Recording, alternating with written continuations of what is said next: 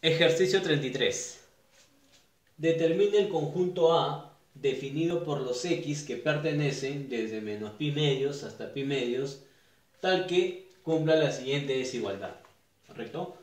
Vamos a trabajar con esta desigualdad que tenemos como dato. Tenemos coseno de x menos coseno de 3x menor que seno de 2x, ¿verdad? Muy bien. Una diferencia de cosenos, si recordamos transformaciones trigonométricas, una diferencia de cosenos se puede expresar como producto. Esta diferencia de cosenos se puede expresar como menos 2 multiplicado por el seno de la semisuma de x y 3x. x más 3x, 4x, entre 2, 2x. Multiplicado por el seno de la semidiferencia de x y 3x x menos 3x menos 2x entre 2 menos x. Sigamos copiando, menor que el seno de 2x. Por aquí tenemos seno de menos x. Este menos sale ya que el seno no absorbe ese signo negativo. Ese menos sale y se multiplica con este otro menos. Menos por menos, más, ¿verdad? Más 2 seno de 2x seno de x menor que el seno de 2x. Este positivo, si lo borramos, se entiende que está ahí, ¿verdad? Seno de 2x lo vamos a pasar al otro lado de la desigualdad. ¿Cómo pasaría? Como menos seno de 2x. Copiamos. 2 seno de 2x, seno de x, y él viene a este lado de la desigualdad como menos seno de 2x menor que, como ya no hay nadie, 0, ¿verdad? Muy bien. A este seno de 2x lo vamos a multiplicar por 1, no pasa nada. Nos damos cuenta que se repite seno de 2x, seno de 2x en ambos términos. Como se repite, lo vamos a extraer. Seno de 2x, abrimos paréntesis. Dentro de ese paréntesis copiamos 2 seno de x menos 1, ¿verdad? 2 seno de x menos 1. Copiamos la desigualdad menor que 0. Tenemos por aquí seno de 2x, recordando al arco doble.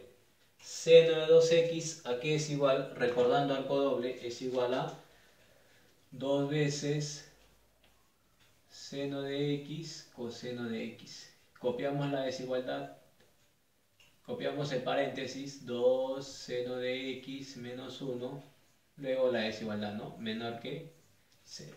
Muy bien. Por aquí tenemos seno y tenemos coseno, ¿verdad? Vamos a analizar tanto el seno como el coseno para ver si, conociendo el signo de ellos, ¿correcto? Se puede simplificar esta desigualdad. Vamos a analizar entonces al seno y al coseno. De repente encontramos el signo de cualquiera de ellos, ¿no? Y vamos a poder simplificar la desigualdad que tenemos por aquí. A ver, hemos dibujado dos veces la circunferencia trigonométrica. En cada circunferencia trigonométrica vamos a graficar la variación de x. x parte desde menos pi medios hasta pi medios, cerrado, ¿verdad? En menos pi medios y pi medios. A ver, vamos a representar o graficar la variación de ese ángulo X. Ver. Por aquí estará menos pi medios, ¿no? Aquí está 0, por aquí estará menos pi medios, ahí está. Cerrado y empieza a aumentar, ¿no? El valor de X aumenta, aumenta, aumenta, aumenta, aumenta, aumenta, llega a 0. Sigue aumentando hasta llegar a más pi medios o pi medios, ¿no? Cerrado también. Muy bien, ya representamos la variación de X en esta circunferencia trigonométrica. Aquí también vamos a representar la variación de x. Empieza desde menos pi medio cerrado, va aumentando, aumenta, aumenta, llega a cero, aumenta hasta llegar a pi medio que también es cerrado. Muy bien, por aquí vamos a representar la variación del coseno de x y por aquí la variación del seno de x. Recuerda que para encontrar la variación del coseno se tiene que proyectar los valores de cada ángulo en una recta horizontal. Ya hemos dibujado la recta horizontal, vamos a empezar a proyectar desde menos pi medios. Este menos pi medio se proyecta en el cero, ya que está justo a la altura del cero, ¿verdad? Él se sigue proyectando, él también, él se proyecta, se proyecta, se proyecta, se proyecta, este ángulo se proyecta. El ángulo cero se proyecta en la unidad, ¿verdad? Y cerrado. ¿Por qué razón? Porque en la CT o circunferencia trigonométrica, el radio es la unidad. Él es menos 1, claro, porque es a la izquierda, y él es más 1 porque es a la derecha, ¿verdad? El ángulo cero se proyecta como 1. Este otro ángulo que aparece por aquí se proyecta, él se proyecta, se proyecta, se proyecta, se proyecta, él también se proyecta, se proyecta, se proyecta, se proyecta y llegamos a pi medio, ¿no? Cerrado que se proyecta de nuevo en 0. Damos cuenta aquí, en 0 es cerrado, en 1 es cerrado y hemos encontrado la variación del coseno, ya que hemos proyectado en una recta horizontal. Encontramos que el coseno, coseno de x, es mayor o igual que 0, menor o igual que 1, ¿verdad? Muy bien. Vamos a encontrar ahora la variación del seno. Y para encontrar la variación del seno tenemos que proyectar en una recta vertical dos valores de la variación de x, ¿no? Muy bien. Vamos a comenzar desde menos pi medios. Recuerda que ahora vamos a proyectar en la vertical. Este menos pi medios se proyecta ¿no? en menos 1, ¿verdad? Menos 1 cerrado ya que del origen hacia arriba más 1, del origen hacia abajo menos 1. Ahí está. Seguimos. Cada angulito ¿sí? que está de verde, representado de verde, vamos a proyectar en la vertical.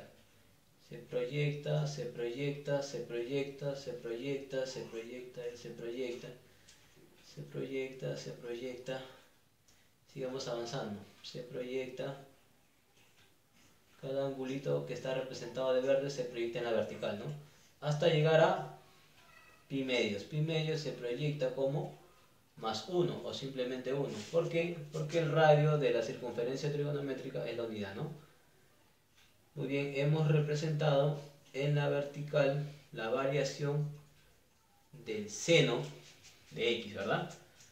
Tenemos entonces que el seno de x varía desde menos 1 hasta 1. Mayor o igual a menos 1 menor o igual a 1. Muy bien. Una vez que tenemos la variación tanto del seno como el coseno, vamos a analizar, vamos a analizar en la desigualdad que tenemos. Sabemos que el coseno de x es mayor o igual que 0, ¿no? Puede ser positivo o puede ser 0, ¿verdad?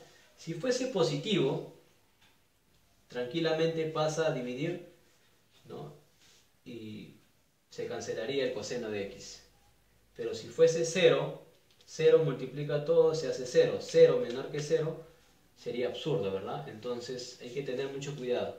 El coseno de x, si es positivo, pasaría a dividir, se cancelaría.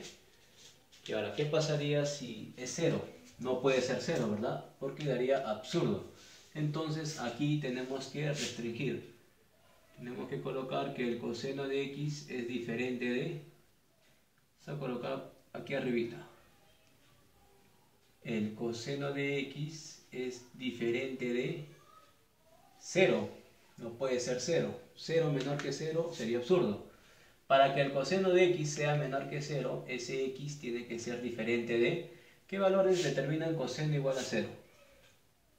Los valores que puede tomar x que determinan coseno igual a 0 es coseno de pi medios y coseno de menos pi medios, ¿no? Quiere decir que x es diferente de menos pi medios, también es diferente de pi medios.